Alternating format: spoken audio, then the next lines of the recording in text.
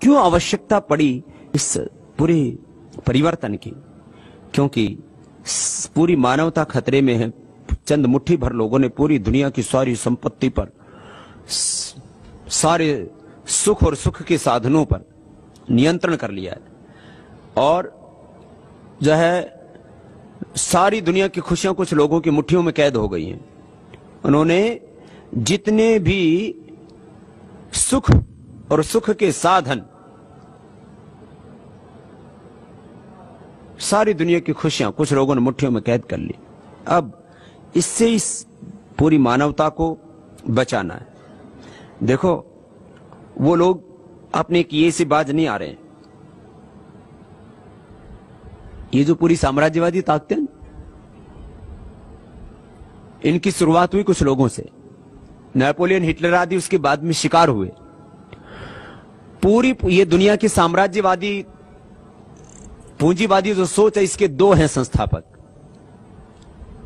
एक हैं रॉथसाइल और दूसरे हैं रॉकफेलर और दोनों के ही संयोग से पाँच पाँच बच्चे थे। और उससे जो है, ये पूरी पूंजीवादी, साम्राज्यवादी व्यवस्था खड़ी हुई। क्या नाम बताया? एक का नाम? रॉथसाइल उसको रॉथसिल्ड भी बोलते हैं, कुछ रॉथसाइल्ड बोलते हैं। और दूसरे रॉकफिलर रॉकफिलर अमेरिका में पैदा हुआ। यह अठारहवीं शताब्दी की देन है। और सत्रहवीं शताब्दी के बीच में ये रॉकसाइल्ड पैदा हुआ। रॉथसाइल्ड अब रोथ रोथसाइल्ड जो है, ये यहूदी परंपरा में विश्वास रखता है। इसने बैंक और बैंकर्स की, बैंकों की व्यवस्था ही, ये जो करेंसी की व्यवस्था, वो उसके जनक मूल रूप से यही है। बैंक और बैंकर्स ये पूरा जो सिस्टम जो पूरी दुनिया की सारी संपत्ति कहाँ जाती है? अंततोगत्वा बैंकों में जाती है। और जो है, सोने में जाती है। तो सोने और बैंक की व्यवस्था को विश्व स्तर पर स्थापित करने वाला व्यक्ति जो है, उसने पूरी दुनिया की उस समय जो आर्थिक राजधानियाँ थी, पाँच जगह पर उसने अपने बच्चों को भेज दिया।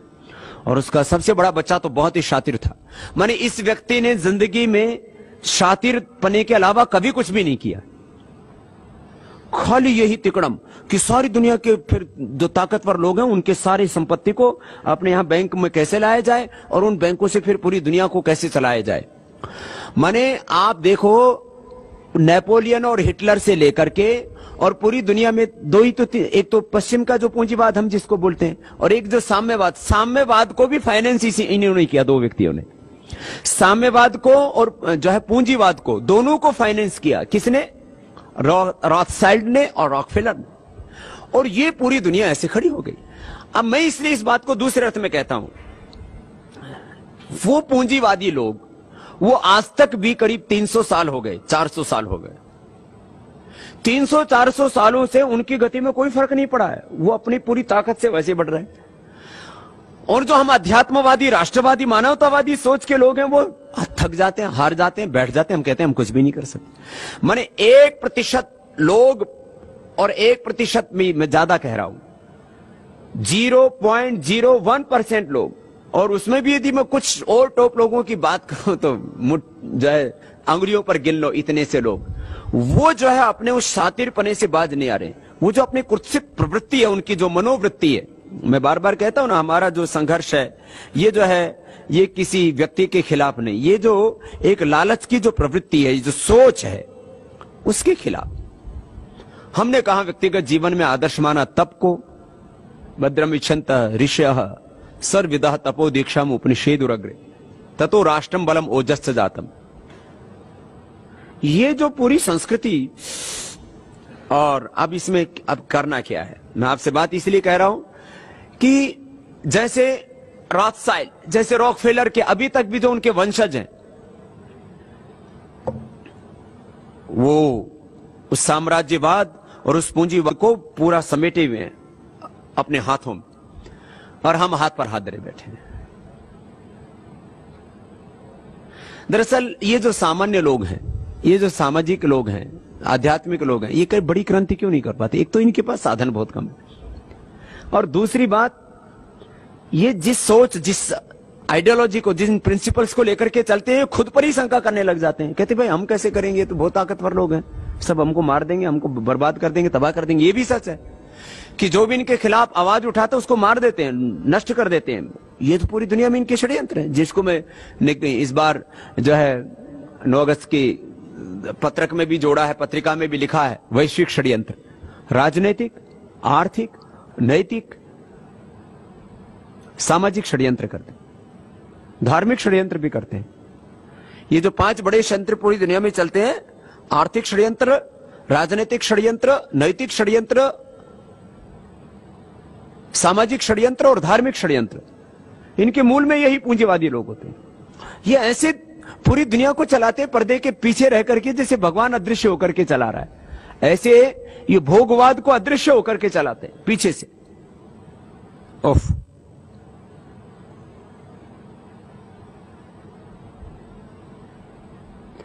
किस तरह से ये सारी व्यवस्था चलती है, मैं इसको फिर बाद में पूरा रखता हूँ। अभी मैं आपके सामने कुछ तथ्य और रख देता हूँ। और इन चीज़ों को समझना और पूरे देश को समझाना है, तभी पूरा देश अपने साथ खड़ा होगा। मेरी एक बहुत बड़ी विडंबना, मैं आज सोच रहा था मैं उससे अंतर में वेदना होती है। लोग कहते हैं, योगी को तो वेदना नहीं होनी चाहिए। लेकिन क्या करें? वो व्याकुलता तो होती है। उसको शब्द अलग दे दो आप। व्याकुलता तो होती करुणा तो उठती है। क्यों होता है? हम जिन पूंजीवादी, साम्राज्यवादी, भोक्ता, उपभोक्तावादी, बाजारवादी, ये जो पूरी दुनिया में ग्लोबलाइजेशन रिजाइजेशन के जो पोषक उनको तो पता है, पूंजीवादी ताकतों को पता है, साम्राज्यवादी ताकतों को पता है कि हम उनके दुश्मन हैं। लेकिन हमारे दोस्तों को पता ही नहीं कि उनके लिए हम जी रहे जो आम आदमी है, गरीब आदमी है, मजदूर आदमी है, किसान आदमी है, हिंदू है, मुसलमान है, जो सवर्ण वाल्मीकि, वनवासी, आदिवासी, वो वो जो लोग हैं, उनको ये पता ही नहीं कि उनके लिए कोई मर रहा है। जिनके लिए हम मर रहे हैं, जिनके लिए हम तड़प रहे हैं, जिनके लिए हम व्याकुल हैं, आकुल हैं, जिनके लिए 24 घंटा एक हृदय में करुणा का भाव लिए, वात्सल्य का भाव लिए, हम पागलों की तरह लगे हुए उनको पता ही नहीं है कि उनके लिए कोई पागल हमारे दुश्मनों को हमारी पहचान है, लेकिन हमारे दोस्तों को पता ही नहीं है कि उनके लिए कोई लड़ रहा है तो दुश्मनों के हम निशाने पर हैं और दोस्तों के लिए हम अनजान। मैं ये आपको इस साधारण कही सुनी बातें नहीं कह रहा। पूरी दुनिया के जो टॉप कैपिटलिस्ट है, जो टॉप मेगा कैपिटलिस्ट है, वो कहते हैं यार ये बाबा रामदेव तो बहुत बड़ा खतरनाक आदमी ये तो हमें बर्बाद करना चाहता है।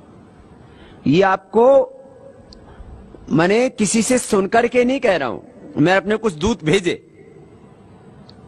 मैंने अपने दूत भेजे। मैंने कभी इन लोगों से पूछो, ये हमारे बारे में क्या सोचते हैं? तो बोलते हैं, ये ये बाबा तो बहुत खतरनाक ये तो हमें बर्बाद करना चाहता है। हम उनको भी नहीं बर्बाद करना चाहते जिनको हम आबाद कर, उनको पता ही नहीं कि उनकी खुशियों के लिए कोई अपने जीवन को दांव पर लगा करके डटा हुआ है।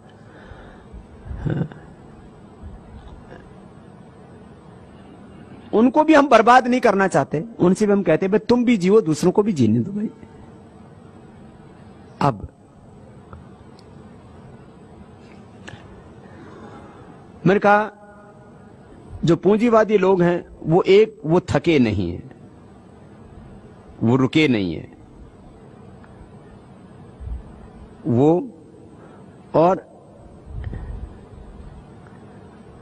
हम हम ईश्वर पुत्र कहने वाले, खुद को ऋषि पुत्र कहने वाले, हम सब ईश्वर पुत्र, आध्यात्मिक लोग। बोले, हमारी, हमने सोच ऐसी बना ली, बोले अपने को क्या करना? ये पैसा तो हाथ का मैल है, आनी जानी है माया, ये माया तो ठगनी है, ये माया तो जो है बेगानी है। हम हम हम जो है, काया और माया, दोनों की निंदा करने में मशगूल है। दोनों की, का तिरस्कार करने में लगे तो फिर दूसरे लोग तो ताकतवर होंगे आप देखो, जितनी भी आध्यात्मिक लोग हैं, उतने ही पैर पसाओ, है? क्या बोलते हैं? कहावत है ना? जित? उतने ही पैर पसारो जितनी गुदरी। जितनी लंबी चादर है गुदरी है, उतना ही पैर पसारो। तो हमारी हमारी क्या पैर तो बड़े हो गए और हमारी गुदरी छोटी हो गई। तो हम पैर मोड़ करके सोने लग गए। लेकिन हमने अपनी गुदरी बड़ा करने का काम नहीं किया। हमने ऐसी मान्यताएँ बना ली। पता नहीं ये कहाँ लिखी हुई ऐसे ये मध्य काल में, ऐसे हमने कहावतें, ऐसे मुहावरे ऐसे मुहावरे, ऐसी कहावतें और ऐसे आदर्श वाक्य हमने घड़ लिए घड़ लिए जो इस पूरे पूंजीवाद के पोषक है। और हम अपने बैठ गए चुपचाप। आप देखो पूरी। चाहे अपनी व्यवस्था पर अपने लोगों पर निगाह डाल करके।